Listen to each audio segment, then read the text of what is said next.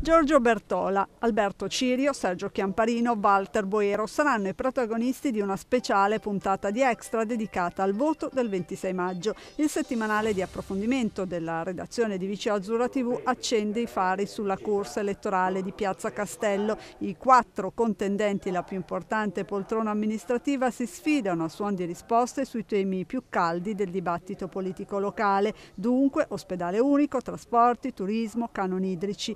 Si parte dalla sanità, tema da sempre caro al Verbano Cusiossola. Il candidato grillino non ha dubbi sulla bontà del progetto ospedale unico, ma in caso di elezione è pronto a rimettere in discussione l'ubicazione. Siamo stati i primi a chiederlo per questo territorio. Nel frattempo, finché non ci sarà il nuovo ospedale, bisogna mantenere i servizi sul territorio e in futuro negli ospedali attuali di Domodossola e Verbagna devono restare dei servizi a valenza sanitaria, quindi sia all'ospedale ma non sulla collina di Ornavasso. Cirio invece è pronto a ridare la parola al territorio in caso di sua elezione e si dice sicuro dell'unità della coalizione sulla scelta. Il territorio dovrà esprimersi, se il territorio vorrà l'ospedale unico si procederà in questa direzione, se invece riterrà più corretto gli ospedali, tenere gli ospedali di Domodossola e di Verbagna, i 65 milioni circa che la Regione ha già stanziato verranno equamente distribuiti tra i due ospedali per potenziarli.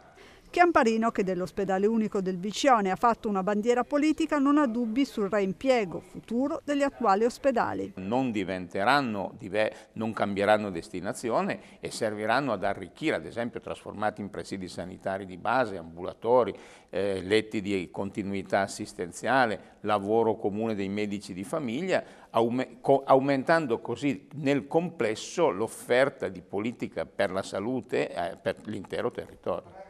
Boero guarda l'esperienza dell'ospedale unico di Verdune e consiglia al VCO il potenziamento delle attuali strutture sanitarie. Il grande progetto di un ospedale unico mette in crisi tutto il territorio, mette in crisi la necessità per coloro che abitano in un ambiente così particolare come quello alpino di raggiungere un posto centrale. Forse era più economico potenziare i singoli ospedali eh, aggiungendo magari delle specialità, eh, potenziandole.